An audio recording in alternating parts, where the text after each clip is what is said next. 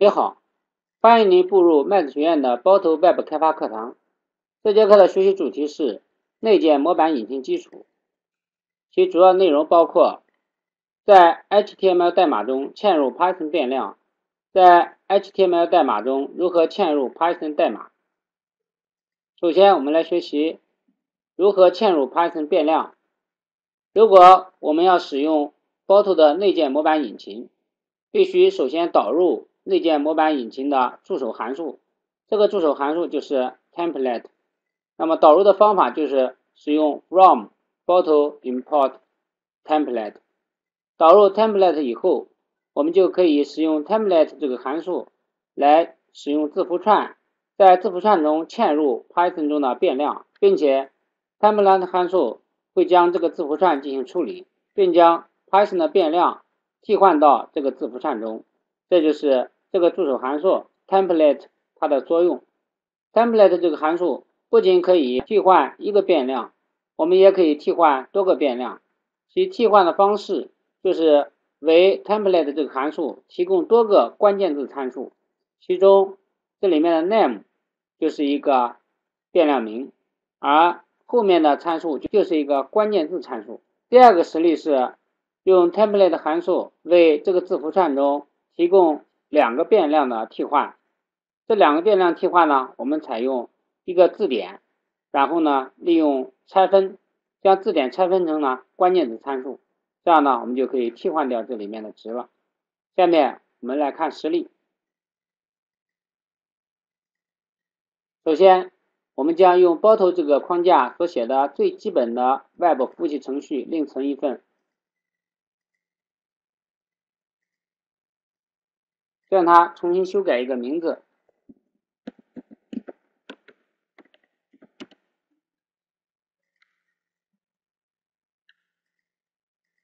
由于我们这里面需要使用字符串来进行替换，所以呢，我们可以在这个程序中，首先定义一个字符串，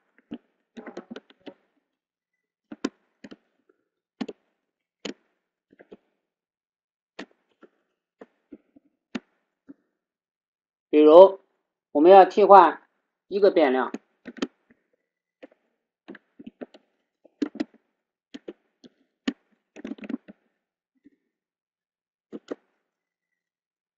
这是利用 template 函数。要处理的这个字符串，下面我们首先再导入 template，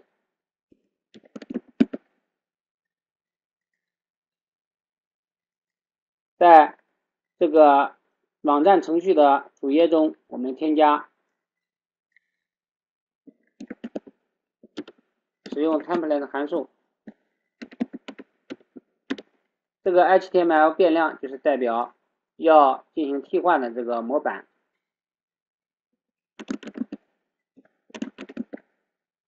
这个时候呢，我们将这个修改成为一个动态的 URL，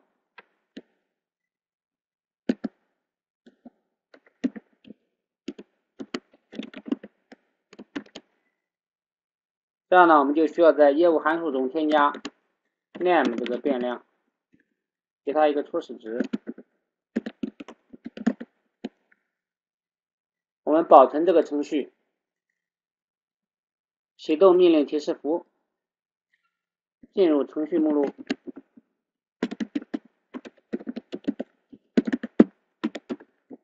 运行这个网站服务器程序。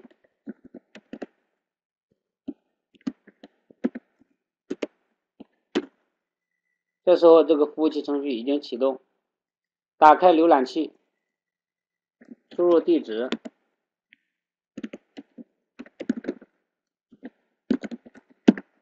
比如这里面的名字，我们随便用一个名称。这时候我们可以看到，本来 template 所处理的这个字符串就是 hello，后面呢用两个双花括号括起来的 name，这里的 name 就是要进行替换的变量。当这个业务函数运行时，name 获取到了 lily 这个名称，那么此时 template 函数运行。会将这里的 name 替换为所匹配到的这个变量名值，这个变量值就是 lily。template 这个助手函数不仅可以替换一个变量，也可以替换多个变量。比如，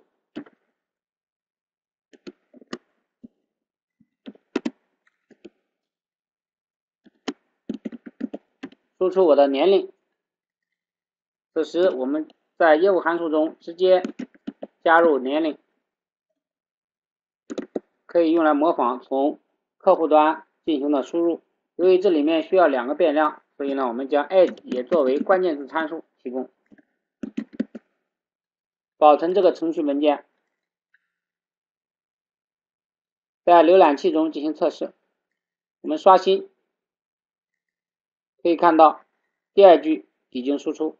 那么此时呢，edge 是一个整形，edge 被替换以后会变成字符，然后呢直接输出。当然，我们在这个助手函数中还可以引入浮点类型的数据，比如。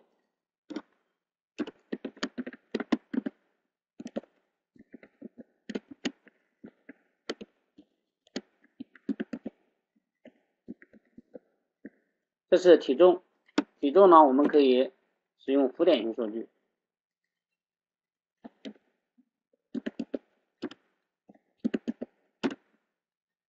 我们在这里面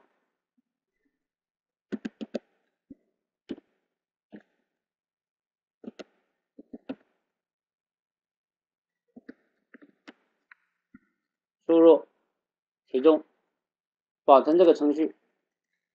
在浏览器中进行测试。好，我们看到这个三十四点五作为浮点数，也可以使用变量替换的形式，在 template 函数的作用下起作用。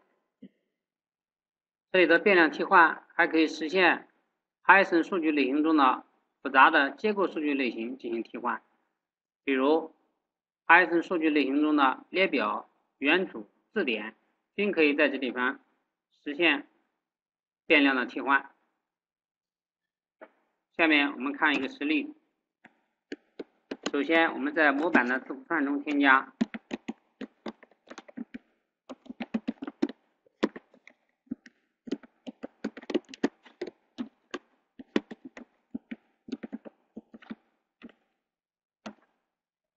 我们在业务函数中定义 cost 这个变量为一个列表。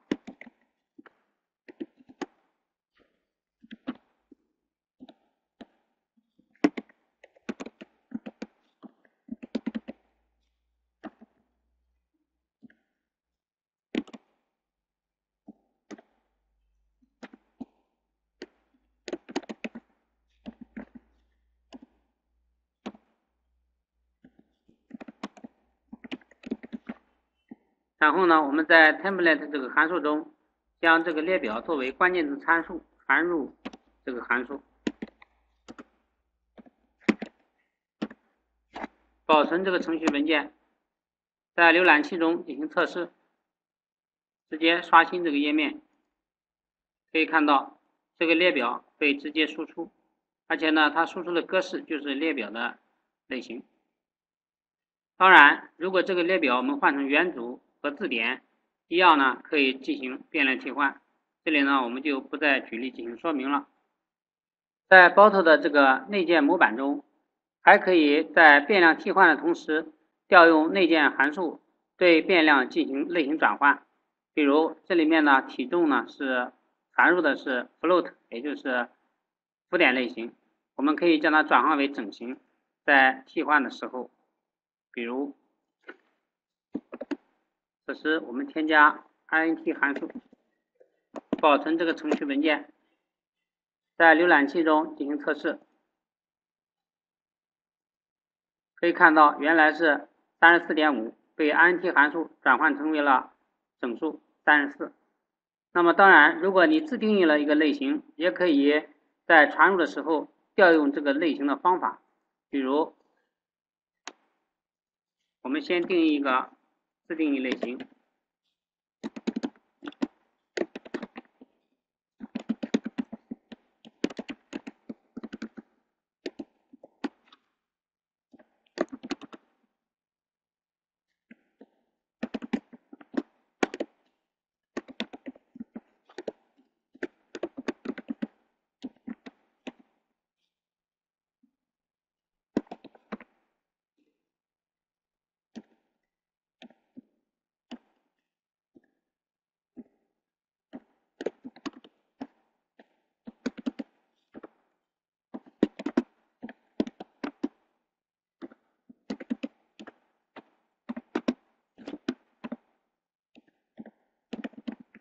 给这个类型定一个这里方法，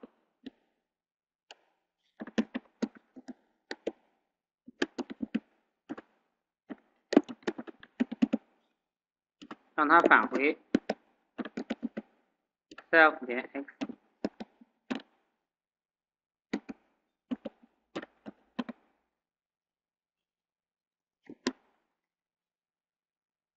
接着呢，我们将这个类在业务函数中进行实例化，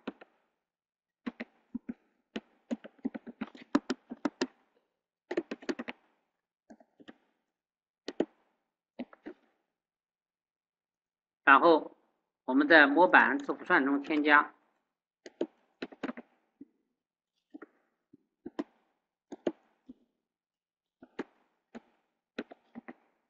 将这个。实例变量传入模板函数，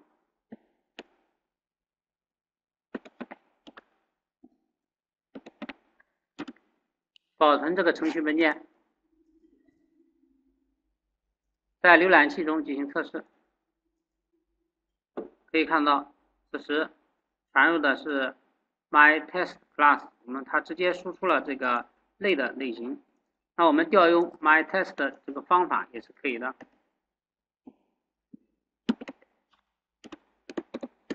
直接调用这个方法，保存这个程序，在浏览器中进行刷新。看到输出的是一个元组，也就是零零。当在模板字符串中有多个变量需要进行变量替换时，此时呢，我们在传入参数时显得呢很复杂，也就是在这个参数列表中要提供多个这样的参数。有时候呢，我们为了方便。就是将这些参数收集在一个字典中，然后呢，利用拆解字典的方法，将它提供为关键参数。比如，我们这里面可以这样做：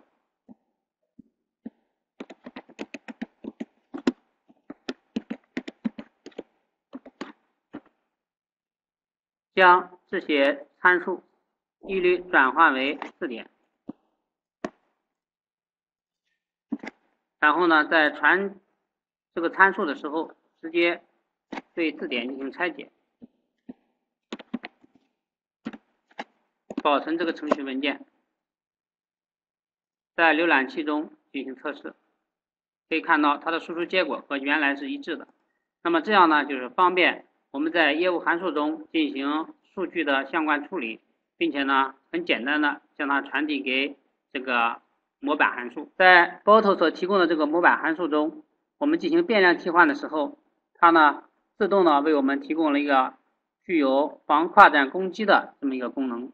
也就是呢，如果我们所提供的这些参数里面它的值是字符串，并且呢包含有 HTML 代码的时候，它会将这些 HTML 代码进行呢自动转移。我们举个例子来看一下，比如我们将这里的字符串写入一个 HTML 代码。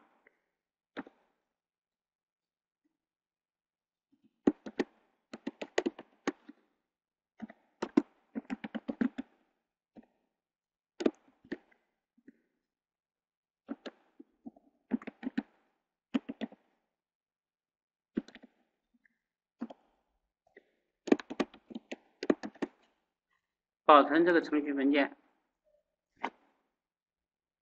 在浏览器中进行测试，可以看到它的输出就是一个字符串，而不是 HTML 代码。如果我们在进行字符串替换的时候，在它的前面增加一个感叹号，保存这个程序文件，此时呢，它就不会对这个。HTML 代码进行转译，在浏览器中进行测试，可以看到这个 French 已经成为了链接。在以上的这个模板函数中，我们进行了多次的变量替换，而 Bottle 所提供的内建模板中还支持嵌入 Python 的代码。下面我们看如何在模板中我们嵌入 Python 代码。第一种呢，就是以百分号开头嵌入单行的 Python 代码。那么这种单行的 Python 代码，我们可以在这里面呢，呃，定义变量、定义匿名函数等等。第二个呢，就是我们嵌入多行的 Python 代码。这时候呢，应该以左尖括号百分号开头，然后呢结尾呢应该以百分号右尖括号结尾，这样呢我们就可以嵌入多行的 Python 代码。在 Python 的内建模板中，这两种符号被用于特殊的符号，但是当它出现在 HTML 内容当中时候呢，若不再去手，我们就可以直接使用。否则呢，前面我们用反斜杠来对这两个字符进行转译，这样呢，它就被当成是直接的网页内容，而不会作为这两种特殊的符号了。那么第二个，我们看一下如何嵌入 HTML 代码这种 Python 语句怎么来写。第一种方式是 if 语句，那么这个 if 语句呢，我们在前面讲了是以单行的。Python 代码，所以呢，我们以百分号开头，后面跟上 if 语句，紧接着是 HTML 代码，也就是这中间可以插入一行或者是多行 HTML 代码。但是呢，由于这个是在模板当中，而不是真正的 Python 代码，所以这个 if 语句结束的时候，我们要用百分号 and 来表示这个 if 语句结束了。同样呢，我们也可以嵌入 for 语句和 while 语句。最后我们看一下，在嵌入 Python 代码当中的。空白的控制，也就是行尾用双斜杠表示不转行。这种空白控制主要方便我们在模板当中将需要在一行当中的 HTML 代码写在多行，方便呢在模板当中进行观察或者是阅读。而在输出的时候呢，又输出比较整洁的 HTML 代码。下面我们具体来看一下，在模板当中嵌入 Python 代码的实例。比如，我们需要在这个业务函数中输出用户所查询得到的分数。一般来说，用户查询得到的分数都是从数据库当中得来的。这里我们为了简化这个业务函数，我们不再查询数据库，而将分数直接放到一个字典当中。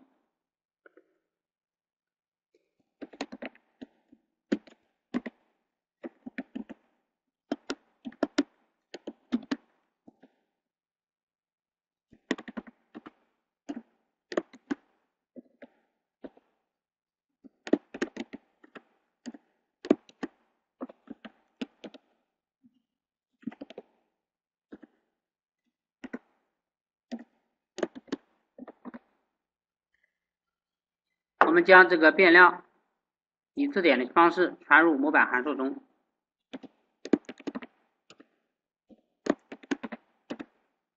然后我们在模板中来输出这个分数。我们以表格的形式来展示用户查询得到的分数。首先输出表头。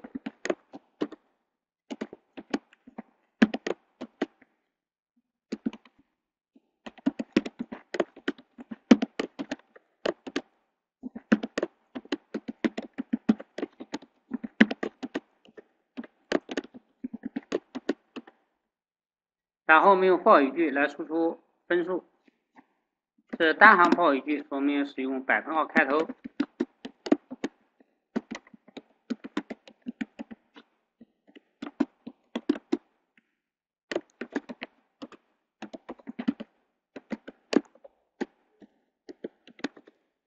这时候我们输出 HTML 代码，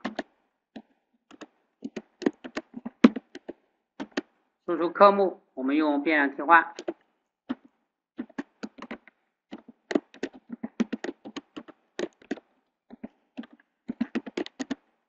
输出分数同样要用变量替换。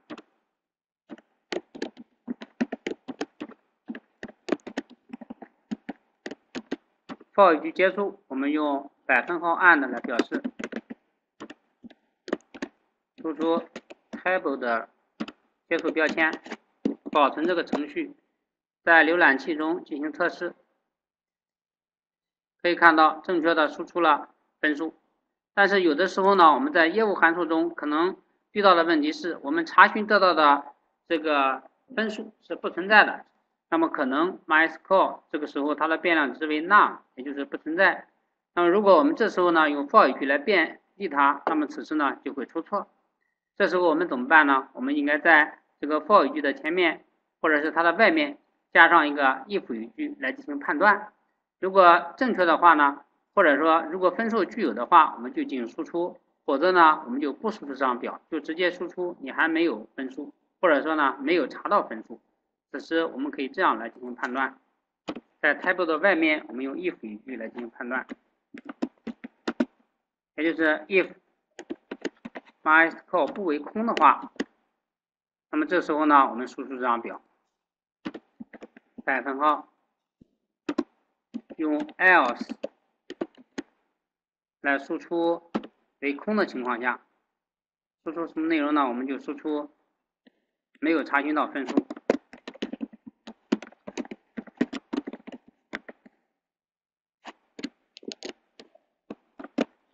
同样，我们用百分号 and 来表示 if 语句的结束。这个时候，我们保存程序文件刷新是还是原来的这个值。那么，因为呢，这个分数。它还是原来的这个值，那么这个时候呢，如果我们将 MySQL 重新赋值为空的话，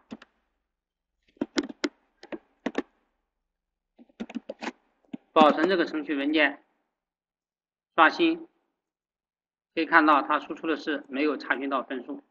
那么这就是在模板当中，我们可以使用单行的或者是多行的 Python 语句。今天安排的作业很简单，就是。使用这个模板来进行输出，那么修改呢？前面的登录项目程序，当用户登录后显示用户名，未登录时候呢显示用户未登录。